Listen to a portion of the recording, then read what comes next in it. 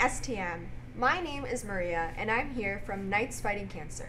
Did you know that two in five people will be diagnosed with cancer in their lifetime? This means that most of us have been or will be personally affected by cancer. So, the Knights Fighting Cancer Committee is organizing a fundraiser for the Canadian Cancer Society. On May 26th, from periods 2 to 5, we will be hosting Relay for Life on the track and turf field. It will be a day full of fun, games, and activities on the turf, and all proceeds will go to the Canadian Cancer Society.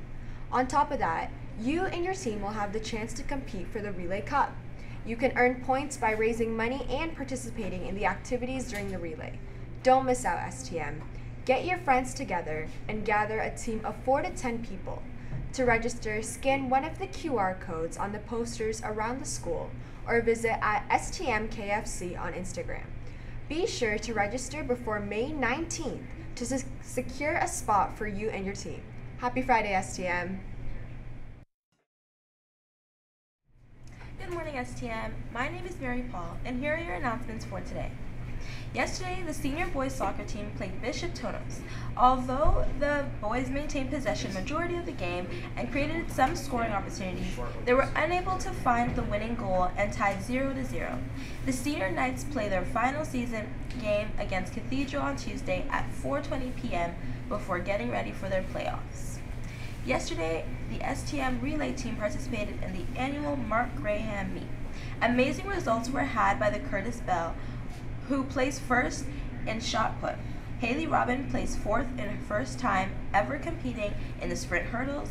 Amelia Do- Dodis Dodds ran in the prestigious Susan Kosek Invitational 400 meter, placing third. The STM relay team excelled. Senior boys consisting of Jeremiah Washington, Jeremy Lemire, Rogan Monaghan, and Avery Belgrave places second overall. Junior girls of Stella Emma, T. Kaya Dawkins, Tatiana Pinilla, and Alyssa Mule placed first.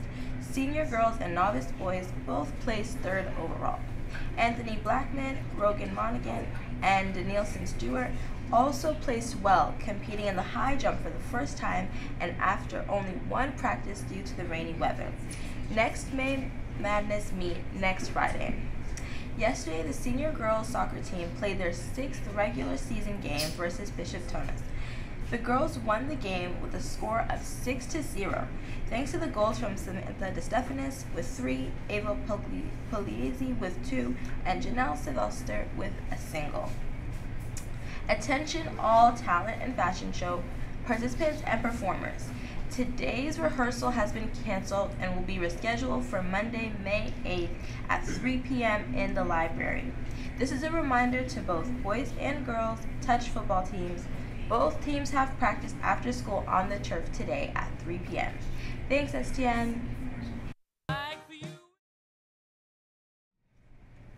Hello, STM. Today, um, Those are all of your announcements Yeah. for today. The time is now now 8:18, and remember, it's a great day to be a knight.